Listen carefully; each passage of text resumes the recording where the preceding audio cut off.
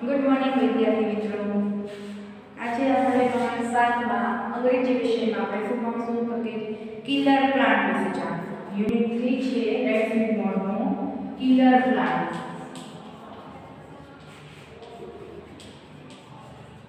Killer plant તો કે killer plant એટલે કે જે છોડવાઓ છે, મરી ગયા હોય છે, એના વિશેની માહિતી લેવાની છે તો જોઈએ આપણે એમાં પહેલા તો એના સ્પેલિંગ જોઈએ એમાં કયા કયા સ્પેલિંગ છે એ જોવાના છે હવે જોઈએ ગાર્ડન ગાર્ડન એટલે શું થાય બગીચો ગાર્ડન એટલે બગીચો બીજું છે ટચ એટલે સ્પર્શ કરવો. પછી છે બ્યુટીફુલ એટલે આપણને ખબર છે કે એનો મતલબ સુંદર. ત્યાર પછી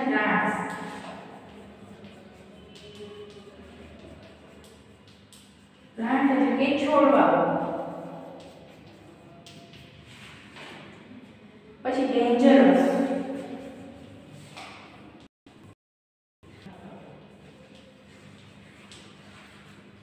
ડેન્જરસ ડેન્જરસ એટલે કે ભયાનક.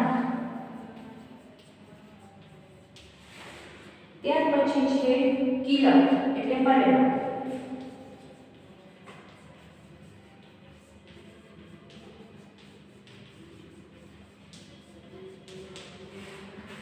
પછીનો ફેર આવે છે ગ્રો એટલે કે ઉગવું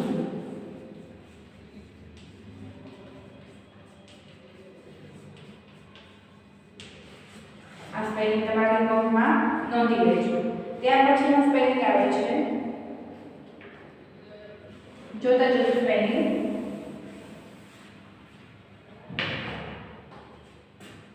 કવર એટલે ઢાંકવું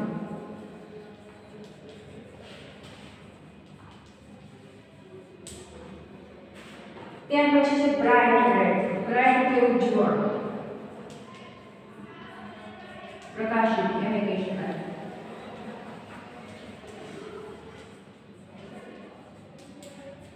આગળના સ્પેલિંગ છે, એની તમે પુસ્તકમાં નોંધ કરતા જજો. જેને જેનો અર્થ હોય તમારે લખતો જવાનું તો ચલો હવે આ પાઠની આપણે શરૂઆત કરશું. શરૂઆતમાં આપણે જોઈએ પાઠમાં શું કહેવાનું છે. પહેલું છે when we go to a garden or a forest એટલે કે આપણે જ્યારે બગીચામાં અથવા જંગલમાં જઈએ છીએ. ફોરેસ્ટ એટલે શું થાય? જંગલ.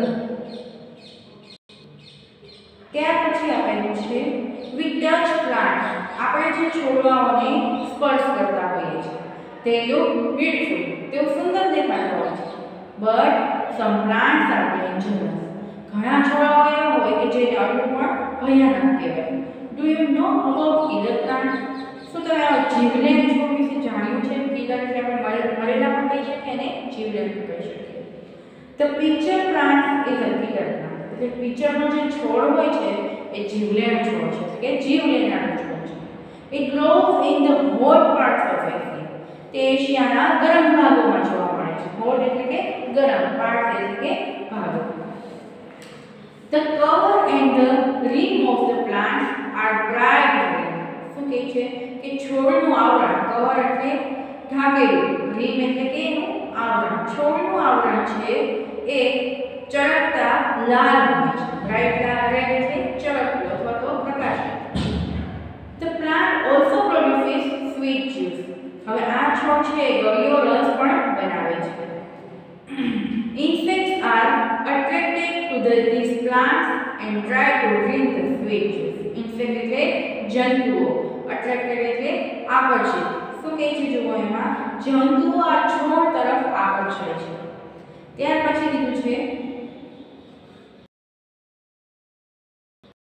અને શું કહે છે? આ ગળ્યો રસ પીવાનો પ્રયત્ન કરે છે. The shape of the ring is like a picture. શું કહે છે? કે આ છે રસ એ છોડની કોર પર ચડી જાય છે.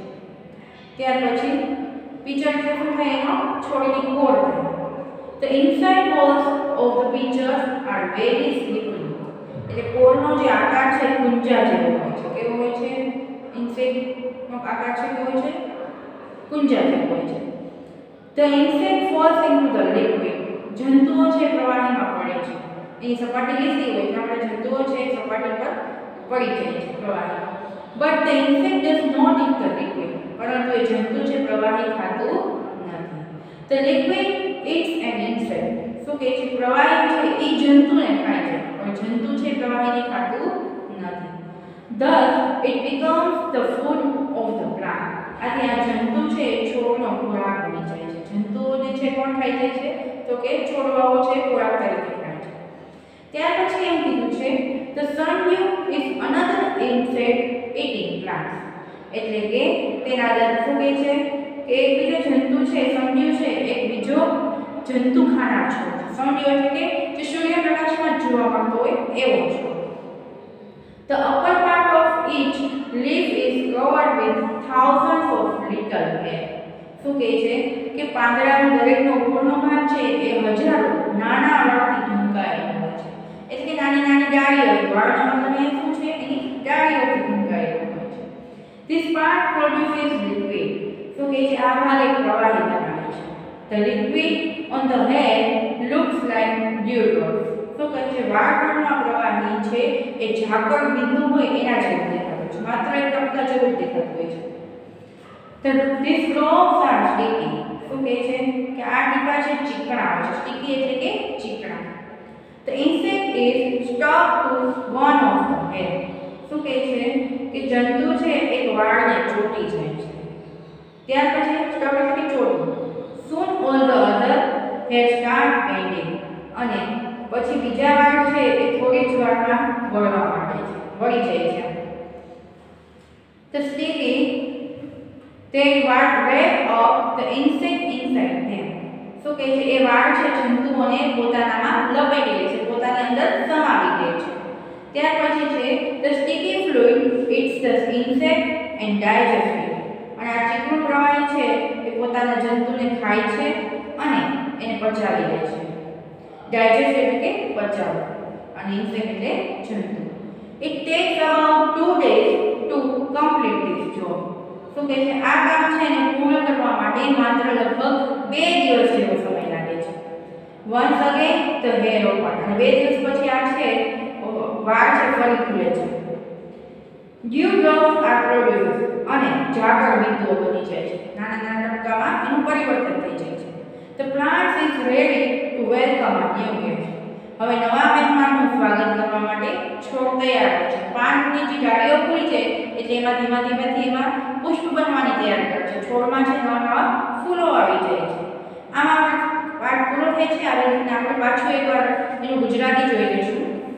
માત્ર ગુજરાતી બોલું છું, જેને ન ખબર પડે જોજો. પહેલો પેરેગ્રાફ છે, આપણે જ્યારે બગીચામાં અથવા જંગલમાં જઈએ છીએ, ત્યારે આપણે છોડને સ્પર્શ કરીએ છીએ. તે સુંદર દેખાય છે, પણ અમુક છોડ છે એ જોખમકારક હોય છે. તમે જીવલેણ છોડ વિશે તો જાણ્યું જ બીજો પેરેગ્રાફ છે પિચરનો છોડ એક જીવલેણ છોડ છે. પિચર નામનો જે છોડ છે કેવો છે? જીવલેણ છોડ છે. તે એશિયાના ગરમ ભાગોમાં જોવા મળે છે. ત્રીજો પેરેગ્રાફ છે છોડનું આવરણ અને કોર તેની કિનારે ચળકતા લાલ હોય છે. આ છોડ ગળ્યો રસ પણ ધરાવે છે. જંતુઓ આ છોડ તરફ આકર્ષાય છે અને ગળ્યો રસ પીવાનો પ્રયત્ન કરે છે. તે આ છોડની કોર પર ચડી જાય છે અને કોરનો આકાર કુંજા જેવો હોય છે અને છોડની અંદરની દિવાલ પણ ખૂબ લીસી હોય છે. આથી જંતુ છે પ્રવાહીમાં પડી જાય છે. પણ તે જંતુ પ્રવાહી ખાતું નથી. પ્રવાહી છે એ જંતુને ખાય છે. આમ તે જંતુ છોડનો ખોરાક બની જાય છે. લાસ્ટ પેરેગ્રાફ છે, એમાં જોજો. સનડ્યુ એક સનડ્યુ નામનો છોડ કે સૂર્યપ્રકાશમાં જોવા મળતો છોડ. એક બીજો જંતુ ખાનાર છોડ છે. તેના દરેક પાંદડાનો ઉપરનો ભાગ હજારો નાના વાળથી ઢંકાયેલો છે. અહીંયા વાળનો મતલબ શું છે? એની ડાળીઓ છે. આ ભાગ એક પ્રવાહી બનાવે છે. વાળ પર પ્રવાહી ઝાકળ છે, એ બિંદુ જેવા આકારમાં દેખાય છે. આ પ્રવાહીના ટીપા ચીકણા હોય છે. જંતુ એક વાળને ચોટી જાય છે અને થોડી જ વારમાં બીજા બધા જ વાળ છે એ ધીમે વળવા માંડે છે. તે વાળ જંતુને પોતાનામાં લંબાઈ લે છે. ચીકણું પ્રવાહી છે એ જંતુને ખાઈ જાય છે અને ડાયજેસ્ટ એટલે પચાવે છે. આ કામ પૂર્ણ કરવામાં લગભગ બે દિવસ જેટલો ફરી એકવાર વાળ ખુલે છે આ નવા મહેમાનનું સ્વાગત કરવા માટે હવે છોડ છે તૈયાર છે. અહીંયા આપણો પાઠ છે પિલર પ્લાન્ટ